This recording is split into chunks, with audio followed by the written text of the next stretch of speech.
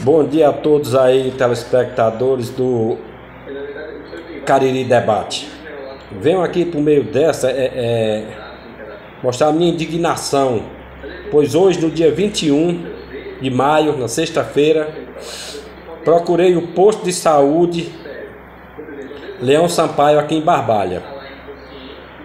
Que quem mandou eu procurar esse posto foi agente de saúde aqui da Bulandeira.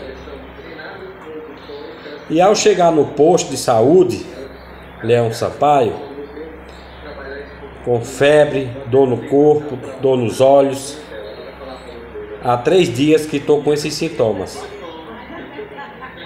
E a atendente me falou que não está tendo médico, que doutor Meton, quem era para estar hoje, não está, está viajando. Quer dizer, a gestão não se preocupa nem deixar um substituto, já que é um posto de grande necessidade para a população.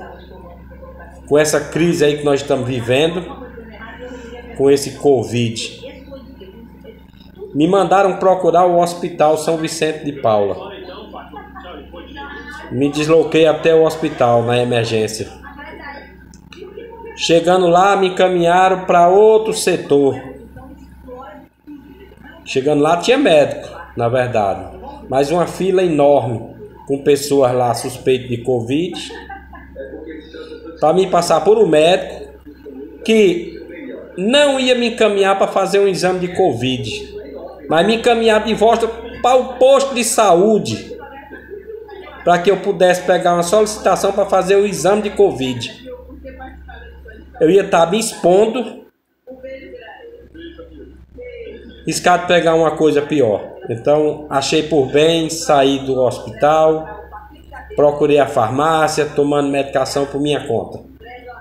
Porque Barbalha nós não temos atendimento de responsabilidade um, um atendimento com que o cidadão que paga seus impostos deveria ter, viu? Então aí vai minha indignação para o senhor prefeito, doutor Guilherme, que é um médico, e que ele passa a fiscalizar mais os postos de saúde, que é de competência dele, viu?